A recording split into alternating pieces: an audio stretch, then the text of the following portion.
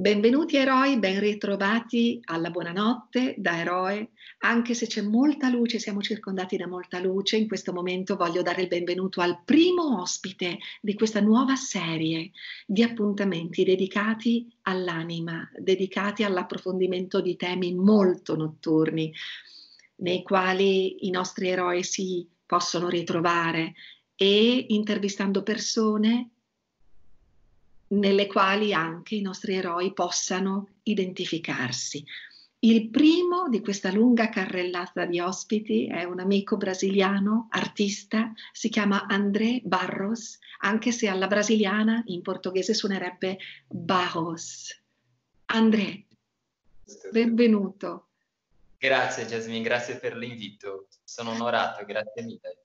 È una meraviglia averti perché io ti conosco da un po' di tempo, ho avuto modo di vedere le tue opere d'arte, di già esplorare la splendida persona che sei umanamente, ma per chi ancora non ti conosce e non sa quanto tu sia eroe in viaggio in un paese che alla fine non è il tuo, perché da quanto tempo sei in Italia? Sono in Italia già da dieci anni, sì. arrivo dalla terra del Brasile e tra l'altro da una zona bellissima del Brasile che è il nord-est.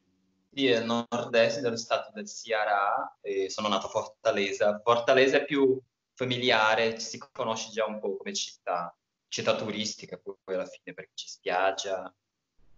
Spettacolo. È vero che c'è una specie di deserto con le dune bianche di sabbia che sembra borotalco nel sì. nord le, spiagge in Brasile hanno queste caratteristiche, la, la sabbia è molto, molto, chiara, molto fine, e quindi è molto morbido camminare nelle spiagge in Brasile, nel nord-est. Spettacolo. Mi toccherà fare una visita in nord-est del Brasile prima o poi, Andrea.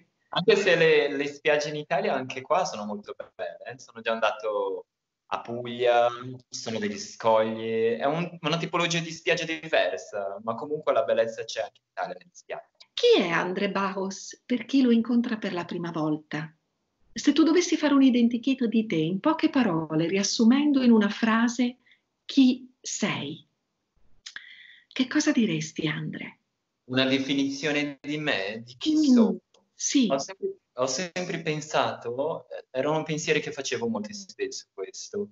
E sì, eh, ho una definizione su me. Ho sempre detto che sono un ricercatore spirituale più che pittore, perché pittori ormai sì, sono anche pittori, alla fine siamo tante cose, no? Mm-hmm. Però per decidere una, sì, sono un ricercatore spirituale, perché no? Perché alla fine stiamo sempre a ricercare qualcosa e mi piace più che altro cercare delle cose che è più profonde in noi stessi, quindi ricercare lo spirito, tanto la realtà come noi stessi un ricercatore spirituale. È una definizione che mi piace tantissimo e che condivido al 100%, perché anch'io mi considero una ricercatrice in questo senso. E quando si parla di spiritualità si parla di qualcosa che va al di là della teologia o delle religioni o delle barriere, diciamo, dogmatiche che possono magari dividere le persone semplicemente perché hanno opinioni differenti su uno stesso argomento che poi ci riguarda tutti perché ogni essere umano si fa delle domande. Sì, e... secondo me ogni essere umano è un po' filosofo, fa questo tipo di domande, almeno una volta nella vita, almeno una volta nella vita, sì. E chi dipinge, secondo me, è una specie di filosofo che sta sempre lì a ricercare, è molto curioso, perché io so perché io eh, come personalità sono così, ma anche persone che dipingono, che ho conosciuto, pittori, anche alcuni famosi, hanno questa caratteristica che loro indagano, indagano, indagano, non indagano aspetti della società, anche aspetti diciamo banali, ma indagano in profondità su che cos'è l'uomo, sulle spiritualità, Dio, tutte queste cose un po' più, diciamo, grandi, no? Che... Mm. Ti faccio una domanda, Andre. Il ricercatore per definizione è una persona che ricerca. E se è ricercatore oggi e lo è domani, lo è a prescindere dalle risposte che trova sul suo cammino. Anzi, le risposte sono quasi delle definizioni che ci si dà a un certo punto mm-hmm. e che rappresentano delle immagini, delle fotografie, ma si va oltre e quindi potrebbe essere che continuando nella direzione che ci siamo dati della ricerca verso la luce, verso il divino, verso lo spirito per l'appunto, qualche altro segnale stradale arrivi a indicarci se siamo sulla strada giusta.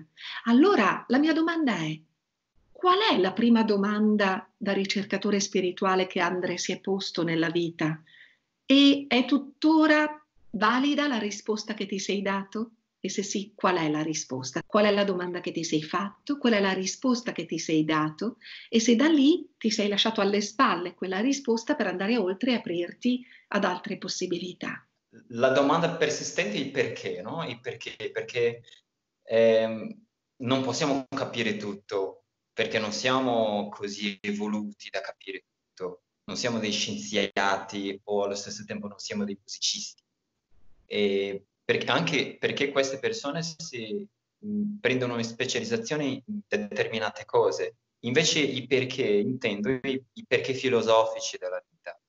Mm-hmm. I perché che poi, col passare degli anni, troviamo le risposte, ci accontentiamo e a volte possiamo anche trovare un'altra risposta, ma quello che conta è sempre questo continuare perché delle cose. Perché poi è piacevole scoprire le risposte, perché tanto alla fine troveremo sempre un altro perché. Quindi la vita è ah. piena di perché. È come i bambini, i bambini che chiedono sempre perché. Diciamo che i veri ricercatori spirituali non sono mai usciti da, da quella fase, continuano a chiedere, non più ai genitori ovviamente, i perché della vita, ma vanno a fare ricerche nei libri, nei, nei grandi saggi che sono esistiti nella storia, ma il perché secondo me è un modo, prima di tutto, per non annoiarsi mai, perché annoiarsi nella vita, è, sinceramente, chi si capita di annoiarsi, secondo me, ma per pochissimo tempo, ma non c'è per niente da annoiarsi nella vita, perché è un continuo perché delle cose, un, un continuo scoprire delle cose, ed è formidabile questo trovare risposte e poi cercare un'altra e secondo me questo stile di vita, di, di chiedersi perché sempre, è anche un modo di darti ispirazione, di creare cose, nel mio, nel mio caso creare quadri, ma anche per un musicista creare musica o per un architetto a creare delle, delle case, delle strutture, che ne so, poi ci sono tanti altri esempi. Qual è il tuo primo perché, Andre? Il primo perché a cui hai dato risposta. Ecco, immagina che io sia un extraterrestre e io ti chieda, Andre, perché sei qui? Perché è qui Andre Bauhaus sul pianeta Terra? Aspetta, che domandona. Domanda... Devo riflettere. È la prima domanda, per esempio, che io mi sono posta da adolescente. E non riuscendo a trovare una risposta e non capendo che la domanda era oggettivamente non facile e non facilmente, diciamo così, risolvibile, questa cosa negli anni mi ha accompagnato dandomi proprio un senso di urgenza, cioè, e questa è la cosa positiva molto bella, perché è quella che ha determinato il mio atteggiamento di ricercatrice spirituale. Qual è la benzina, qual è il carburante che ti fa andare avanti nella tua ricerca e chiederti appunto perché sono qui? Allora, perché qui André Barros?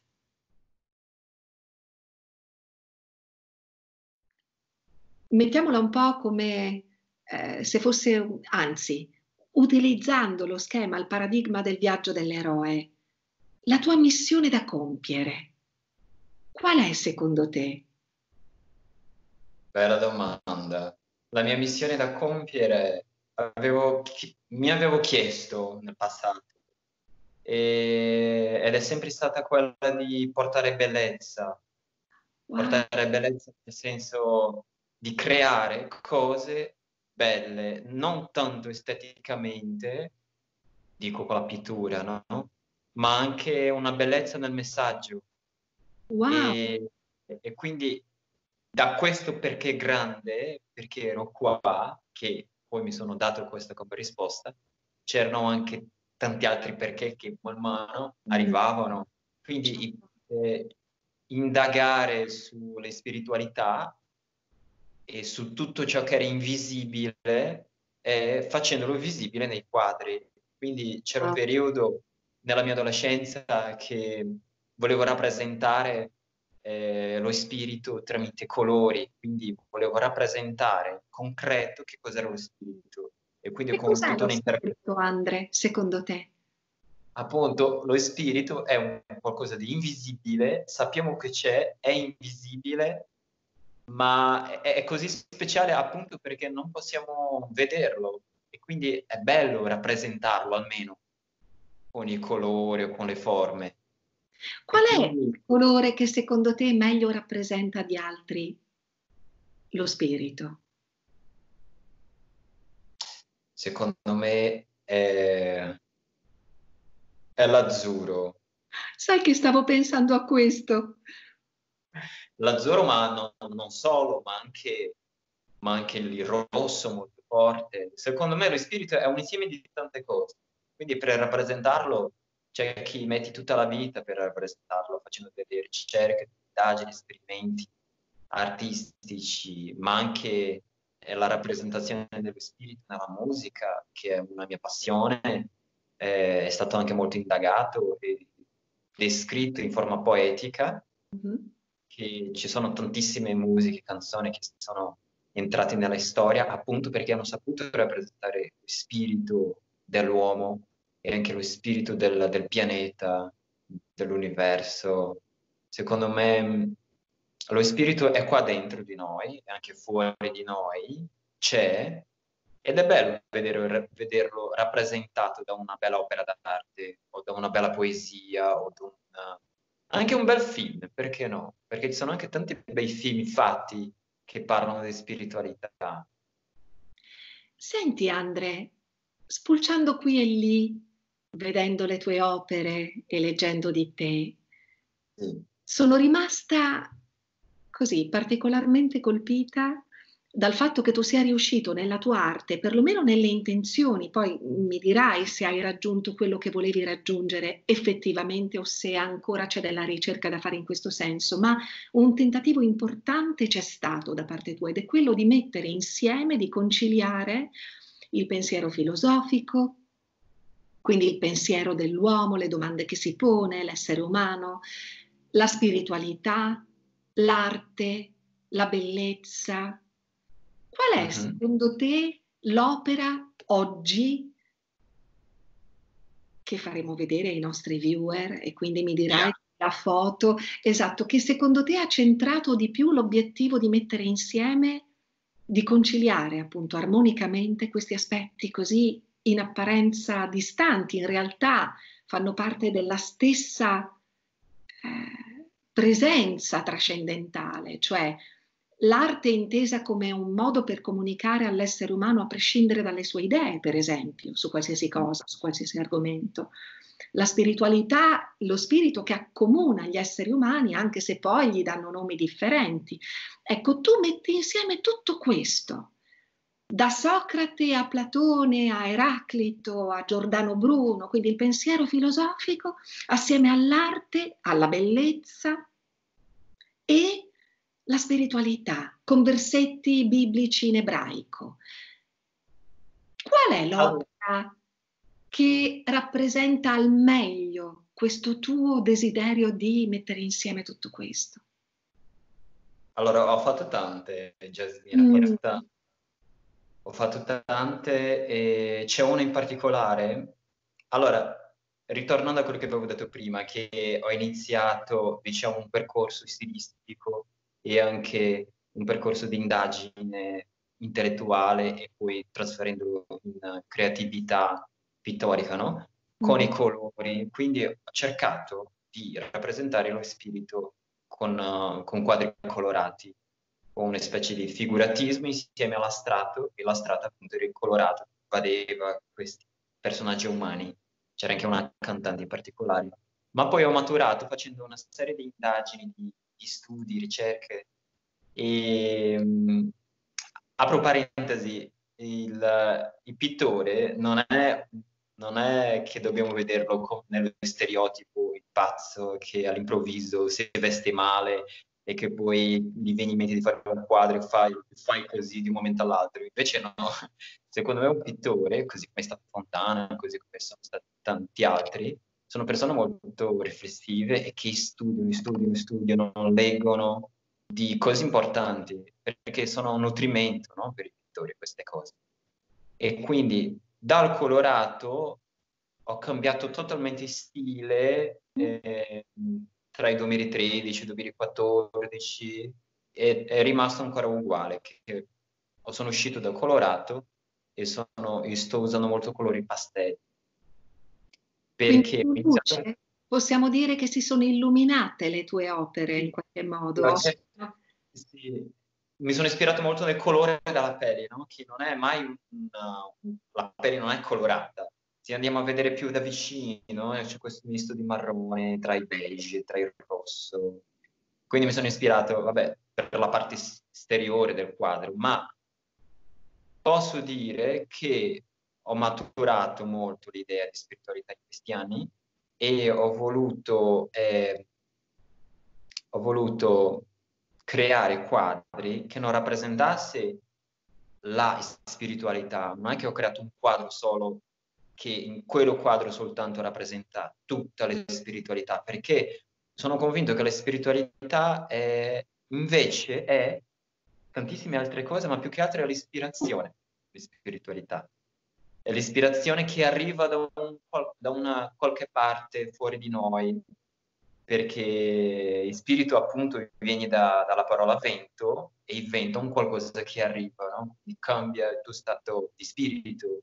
Quindi è un qualcosa che viene da un'altra parte, non dall'angolo della, della nostra via, no? da, da, due metri, ma viene proprio da un'altra parte molto lontana, da, viene dal mondo metafisico, ecco, la spiritualità.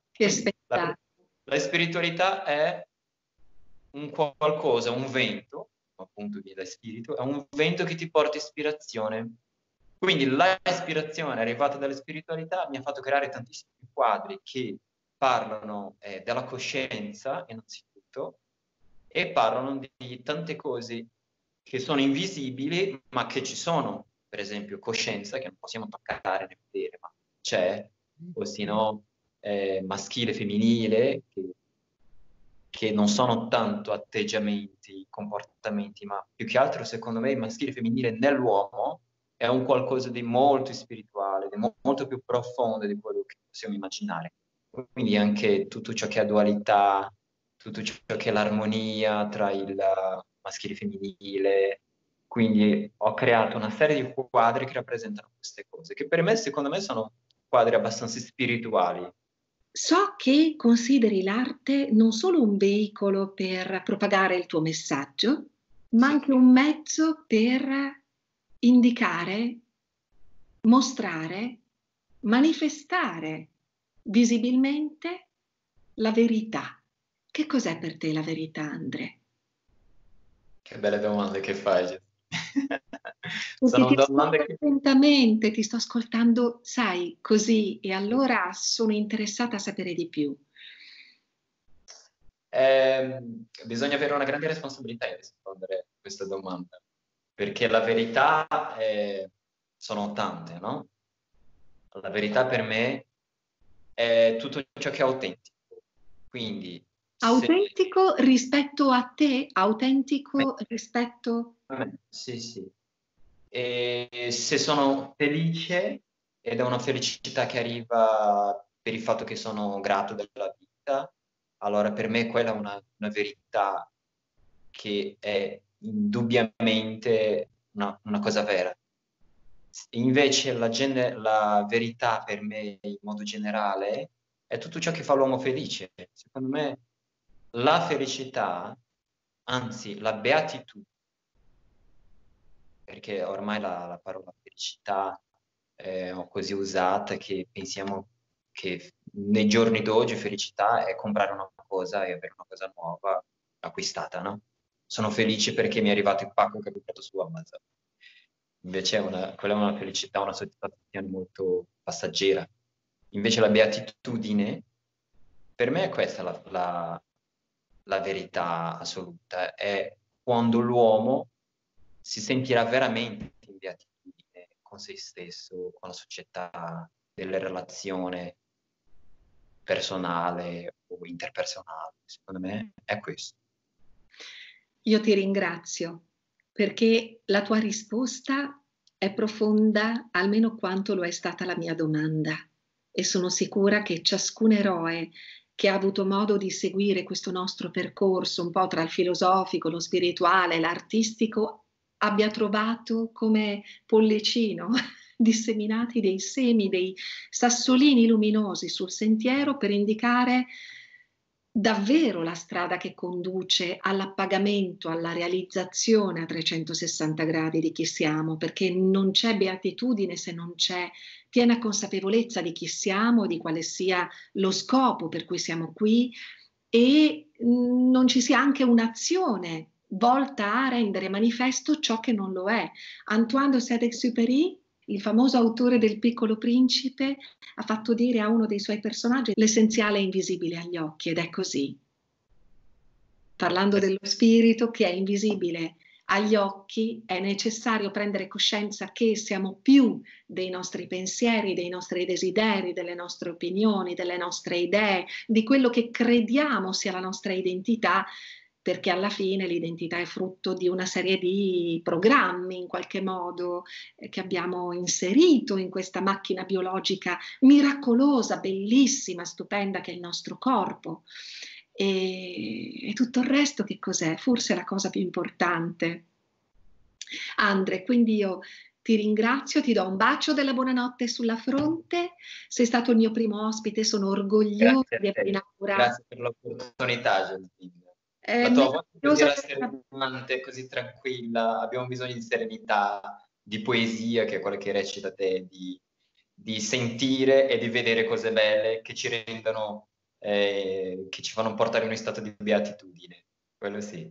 Mi piace anche tanto il termine beatitudine comparato al felicità ormai abusato perché si è felici per qualunque cosa. La beatitudine è la felicità talmente esagerata, talmente piena, talmente completa che fa dire a chi è intorno a te ti vede, ma chi sei? Ma, ma do, da dove viene questa luce? Da dove viene questa pace? Da dove viene tutta questa energia che emani? E ovviamente è contagiosa e questo stiamo cercando di fare anche in questi appuntamenti, contagiare le persone alla beatitudine perlomeno ad avere un atteggiamento che porta alla beatitudine. L'atteggiamento sì. così nei riguardi della vita di entusiasmo, di accettazione, di eh, così, accettazione totale e completa di tutto quello che anche è diverso da noi. Tanto per, tanto per concludere, non so poi qual è il tempo che abbiamo, Giasmina, visto che abbiamo parlato d'arte, ha fatto questa mm-hmm. intervista d'arte con me, che dipingo, eh, mi, sento, mi, sento, di dire una cosa importante, di, di, di, parlare agli altri, quelli che ti seguono, di avere un senso critico rispetto a, alla verità, quello che hai detto te, oh, di quello che è l'arte, no? Di quello che è l'arte vera, diciamo, fatta di, di autenticità, fatta di ricerca sullo spirito, perché purtroppo oggi è una cosa che mi accorgo io e mi, si accorgono tantissime persone che amano l'arte, la storia dell'arte, l'arte contemporanea, e che c'è un inquinamento molto forte della, dell'arte oggi, purtroppo, con l'influenza dei soldi.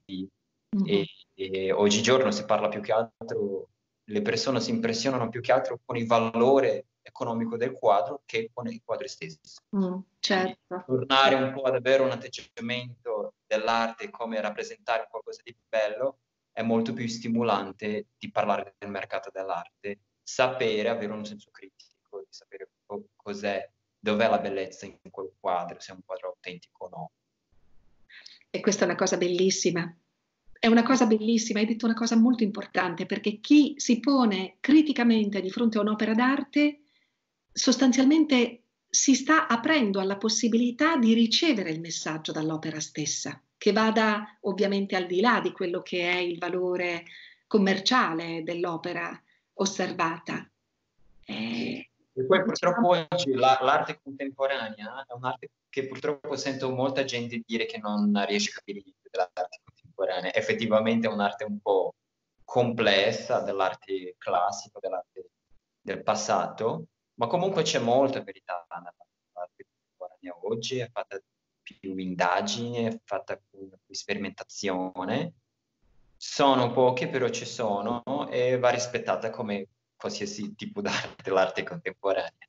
È l'arte di oggi, dobbiamo ammirarla così com'è, però purtroppo c'è, tanta, c'è tanto inquinamento e oggi più che mai per chi è, è, appassionato d'arte o almeno per chi vuole avvicinarsi al mondo, al mondo dell'arte bisogna avere molto senso critico, indagare e studiare tutti i quadri, queste proposte che, che, ti, che ti fa vedere la, la Biennale, tutte le Biennali del mondo, perché purtroppo la speculazione e, e, i soldi sono arrivati anche in questo mondo qua. Quindi bisogna avere questo critico forte. Ti abbraccio forte, Andre. Grazie per essere stato con me, Grazie. con tutti noi. E Grazie ti faccio i migliori. È sempre una bella opportunità parlare di noi. Di è vero, è vero, è vero, soprattutto condividendo bellezza, valori e appunto quello che è essenziale, che non, non, è visibile agli occhi, ma è molto molto importante. Ti abbraccio e il mio abbraccio include quello di tutti gli eroi che in questo momento stanno guardando il tuo bel viso e hanno ascoltato la tua voce raccontarci la tua esperienza di vita.